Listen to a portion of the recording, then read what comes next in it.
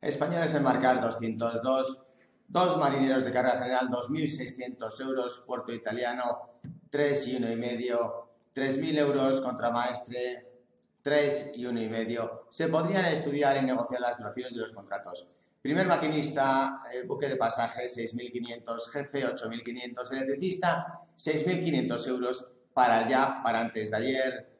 Después necesitamos un montón de auxiliares, etcétera, por favor. Aplicar ya en Cantina que estamos muy por encima de la inflación. Aquellos que estáis jubilados o que sois funcionarios, podéis ganar en ambos sistemas, no hay ningún problema bandera extranjera. Muchas gracias, un saludo, adiós.